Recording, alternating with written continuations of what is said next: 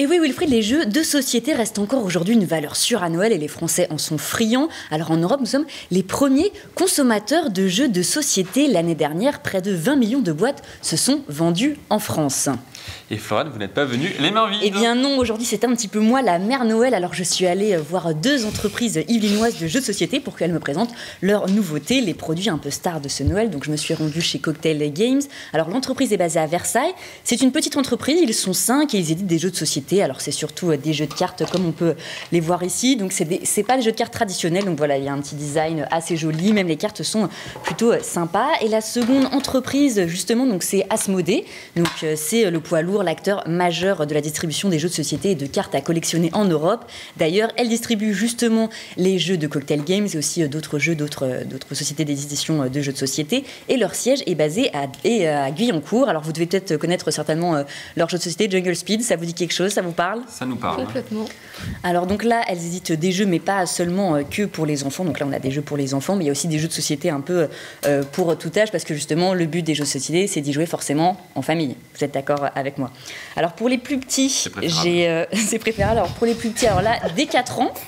On a des jeux de société, alors là c'est le Time's Up pour enfants. Est-ce que vous connaissez euh, le principe du Time's Up euh, tous Pas autour de la table? Pas du tout, personne ne connaît Ah, le si. principe du Time's Up? Pas du Non, tout. pas du tout. Attention, est-ce que ça change du Time's Up Le adulte? Time's Up traditionnel. Bah, Il y a, si je me trompe pas, moi je le joue comme ça avec ses- mes amis, ce sont trois petits jeux. Et Pas en famille du coup. Alors moi j'y joue surtout avec mes amis, c'est vrai, c'est plus un jeu euh, adapté. On... Il faut souvent faire deviner. compris, ça marche comment Il faut Alors, souvent faire deviner des personnalités, mais je pense que Florent est plus c'est à un- même que un moi de jeu- l'expliquer. C'est un jeu justement donc, qui se déroule en trois manches. Donc vous tirez par exemple une personnalité. Donc je sais pas, par exemple, je vais tirer Wilfried Ricci. Alors la première fois, il va falloir que je la fasse deviner euh, en ne disant pas votre nom. Oui, La alors par exemple, fois- alors tiens, c'est, c'est- bah, bravo, tenez, pardon. Co- comment eh comment ben, vous feriez je- deviner Je, euh, je, je- je mimerai un présentateur, Oui. euh, plutôt en politique.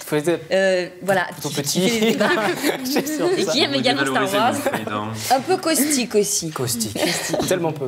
Et le la deuxième manche, donc il faut juste dire un mot. Par exemple, si je vous dis, euh, voilà, présentateur, hop, Wilfried Ricci. Et le troisième Bah, mot, il faut ça. simplement mimer. Donc euh, voilà, Voilà, un petit peu comme ça. Ah, je voilà. suis un peu comme ça. Et donc là, justement, euh, donc c'est c'est pour les enfants, donc c'est plus facile. Donc il y a simplement voilà juste des petites cartes, par exemple une voiture. Bon, en trois manches, c'est quand même facile à mimer, mais c'est pareil. Mimez la voiture? Bah, comme ça, je sais pas. Alors attendez, Je je peux vous en trouver des plus, des plus, oui, oui. euh, Oui, plus sympas. Que Mickaël est très fort. Si je vous demande de faire un taille crayon, Mickaël. Un taille crayon. Ah. Ça, c'est conceptuel. Voilà, là on, on dirait qu'on conduisait une moto, mais Voilà. pourquoi pas Alors c'est exactement Oui, le même principe. Il y a les cartes, il y a le petit sablier. Alors il y a également un autre jeu de cocktail game qui s'appelle Perlin Pimpin. Donc ce jeu a été. Le euh, nom est très sympathique. le nom, le nom est très sympathique, voilà, donc je vous laisse passer. Il y a plein de petites cartes, etc.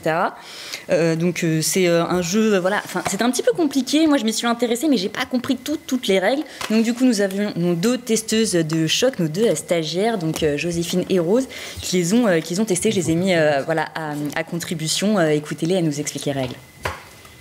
Il y a 12 princesses qui sont endormies euh, au milieu de la table. Le but, c'est de réveiller les princesses, en fait, avec la carte du prince.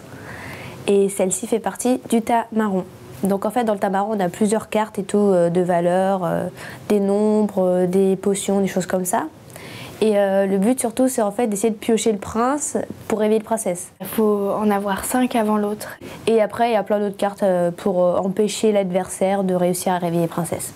Pour reprendre les princesses de l'autre, on peut utiliser un dragon ou une, pr- ou une potion. Globalement, je pense que c'est pour tout le monde. Après, il y a peut-être forcément une catégorie d'âge, mais c'est drôle en fait. Au bout d'un moment, on, on rentre dedans et on, on prend vraiment la compétition, on va dire. Alors c'est pas justement un jeu que pour les filles. Alors il y a d'autres jeux de cartes euh, également faits par euh, par Game. Alors c'est un jeu pour faire des pizzas, mais qui je sais que vous êtes un peu le cuisinier de la chaîne. J'adore les voilà, celui-là. Celui-là, il est pour vous. C'est un jeu où on doit composer le plus rapidement sa pizza. Donc voilà, c'est sympa. Ici, on n'est pas justement fan de jeux de cartes. Alors là, j'ai des jeux pour les plus grands. Donc pour les adultes, c'est des jeux de plateau. Donc là, on a un jeu super sympa. Donc c'est euh, un jeu qui s'appelle euh, euh, cigares, Mafia c'est Cuba. Voilà, peut-être ça vous plaît. Donc en fait, pour ce jeu, c'est un peu le principe du loup-garou. Est-ce que le- certains d'entre vous connaissent voilà, le principe du loup-garou? Mélanie?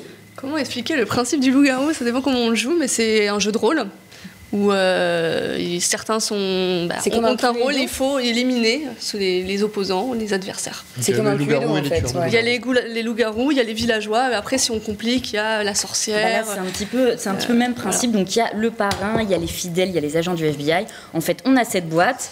Hop, on tire une carte, on choisit euh, qui est donc euh, parrain, qui est fidèle, qui est agent du FBI, qui est nettoyeur aussi, ou nettoyeur en sens tueur à gage. On a donc les petits jetons que vous voyez ici.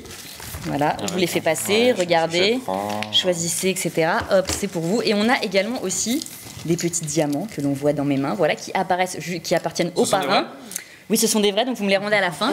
Euh, donc on a les diamants qui appartiennent au parrain. Là aussi, il faut, euh, il faut en voler, etc. Et après, le parrain doit deviner qui a volé les diamants, qui justement est de son côté, qui est agent du FBI. Donc voilà, c'est un peu le même principe du jeu euh, euh, du loup-garou. Et pour un dernier jeu, donc celui-là, je vous en parle parce qu'il est assez euh, sympa. Donc ça s'appelle Colt Express. C'est édité par Asmodée, mais c'est une autre entreprise donc qui, l'édite. C'est Asmodée qui la distribue, pardon. Alors dans Colt Express, c'est un peu ambiance bandit, western, voilà, Far West.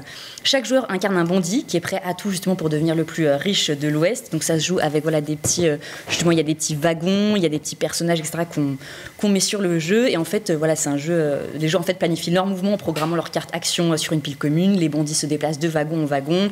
Chaque joueur a une personnalité. Il y a le sniper, la lady, la voleuse. Voilà, c'est un jeu qui est assez intéressant à jouer. C'est à partir de 10 ans, tout âge. Et pourquoi je vous en parle? Parce que justement, ce jeu, c'est un peu, il a un peu eu la Palme d'Or à Cannes pour euh, le festival des jeux, si on peut dire ça. En fait, il a, il a eu l'As d'or, donc le jeu de l'année. C'est une distinction qui est remise lors du festival international des jeux de société à Cannes. Donc voilà, ça vaut le coup et vraiment, il a été reconnu sur tous les sites internet. Donc je vous conseille. Florent voilà, ne s'arrête plus quand il est Non. question de société. Voilà, non, Vous je suis, je, je suis un, un grand enfant, c'est pour ça. Merci pour toutes ces idées On de fera jeu. une partie Voilà, maintenant vous avez plein d'idées de jeux. On pourra faire une partie également genre en rédaction quand, quand on n'aura pas le JT ou plein de choses à faire. Et euh, voilà, c'est vraiment une bonne occasion pour s'amuser en famille. Euh, On travaille beaucoup, Florent, on n'aura pas le Vous voyez, temps. vous voyez la différence, Mickaël. Voyez, un mot, j'ai dit un mot et Florane elle est partie pour 10 minutes.